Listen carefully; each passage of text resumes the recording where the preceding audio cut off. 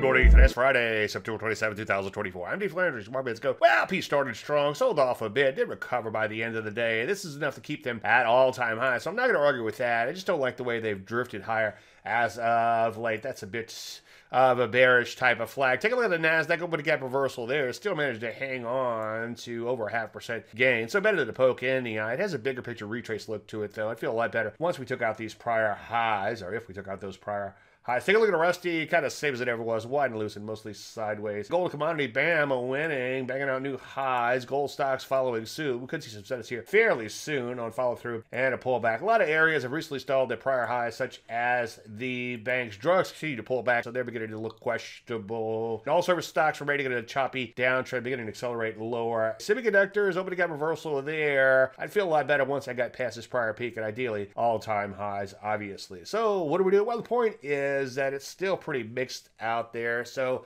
let's just let things shake out. I'm not seeing a whole lot of setups just yet, but on follow through, obviously, we will. Any questions, as usual, Dave, DaveLandry.com. I'm Dave Landry. You start a Market Minute.